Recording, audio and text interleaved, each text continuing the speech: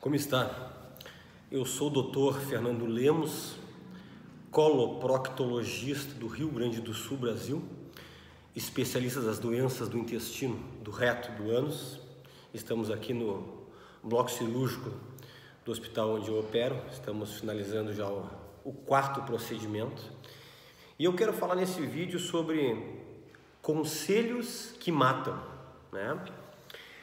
Uh, todos os vídeos que eu trago aqui são coisas do meu, do meu dia a dia, da minha clínica privada ou aqui do nosso próprio hospital. E eu gostaria inicialmente de dar assim, pessoal, um conselho a todos que estão me ouvindo. Tá? Não opine nada em relação à saúde de algum familiar seu, de algum filho, de algum cônjuge ou de algum amigo, se você não for médico. Primeiro conselho. Segundo conselho, não escute conselho de vizinho, de amigo, de parente, de conhecido, de colega de trabalho. Fale com seu médico de confiança. Ah, pode ter algum que pode me dizer assim, mas eu tratei com um médico, fiquei tão mal. Procure outro médico mas escute de algum profissional da saúde que é capacitado. Né? Eu fico extremamente triste no meu consultório quando às vezes eu dou algum tratamento para algum paciente e ele diz: Ah, mas eu não tratei porque o meu vizinho não fez bem para ele esse tratamento e eu estou usando isso aqui que ele me deu uma dica. Eu pergunto: Mas ele é médico? Ele é coloproctologista? Ele fez quantos anos da especialização? Por que, que eu estou passando isso para vocês? Porque existem muitos conselhos desse tipo que matam. Eu vou contar para vocês aqui três casos que aconteceram nas últimas três semanas, inclusive algum deles não tem nada a ver com a minha parte, mas são pacientes meus e de outros colegas médicos aqui, que vocês vão entender o que eu quero dizer. Primeiro conselho: tinha um paciente que estava mais precisamente uma mulher, aproximadamente próximo dos 50 anos, que estava com dificuldade de urinar, estava urinando muito pouquinho, né? Urinava pouquíssimo por dia, mesmo ingerindo líquido, e com o passar dos dias estava urinando cada vez menos. Aí ela conversou com uma vizinha que disse para ela: Olha, usa esse diurético que eu vou lhe passar aqui, que o nome é furosemida, né? O nome comercial mais conhecido é o Lasix. Né? Use, use, vai ser bom. Já que tu não está urinando, vai urinar. Resumo da obra: a mulher acabou em hemodiálise. Na verdade, essa paciente é de um município próximo aqui da onde eu atendo, e um familiar entrou em contato para me contar essa história, porque ela já fez uma cirurgia de reto comigo.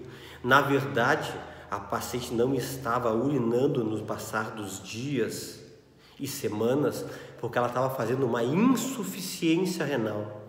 O rim dela já não estava trabalhando, independente da causa.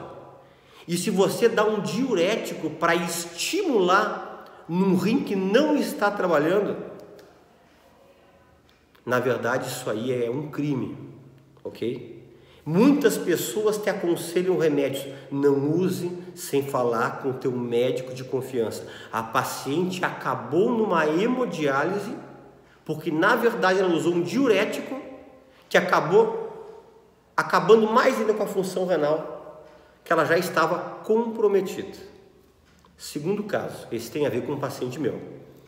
Tinha um paciente meu, sexo masculino, de 50 e pouquinhos anos, 54 a 55 anos, que estava com um desconforto abdominal inespecífico, quer dizer, não parecia ser nada demais. Né? E chegou no meu consultório com uma hemorragia digestiva baixa muito intensa. Talvez o paciente deve ter perdido entre 1 litro e 200 a 1 litro e 500 de, de sangue pelo reto. Sabe o que, que aconteceu? Esse paciente tinha divertículos no intestino. Que alguém quiser assistir, tem vídeo que eu falo sobre divertículos uh, ou diverticulite, que são umas hérnias no intestino que surgem com o passar dos anos aí. E divertículos é uma das grandes causas que causa hemorragia digestiva baixa, sangramento pelo reto. E ele teve um conselho de um primo que ele disse assim: Olha, eu uso para tudo aspirina. Aspirina eu uso para tudo. Toma uma aspirina. E esse paciente começou a usar aspirina de 8 em 8 horas, por orientação de um primo. E a aspirina é um anticoagulante. O essência da aspirina é o ácido acetil salicílico, que é o mesmo melhoral, que é a mesma S.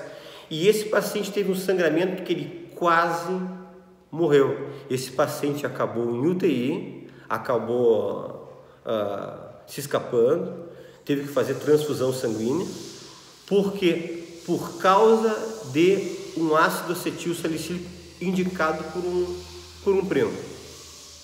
Terceiro caso, esse acabou, infelizmente, acabou em óbito, né?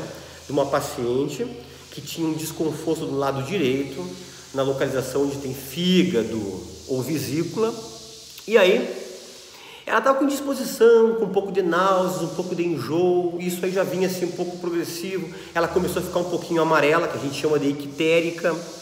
E aí, uma comadre dela, como falam muito aqui na nossa região, indicou para ela usar o chá verde, que o chá verde de ginger era digestivo, e ela começou a tomar chá verde 2 litros por dia.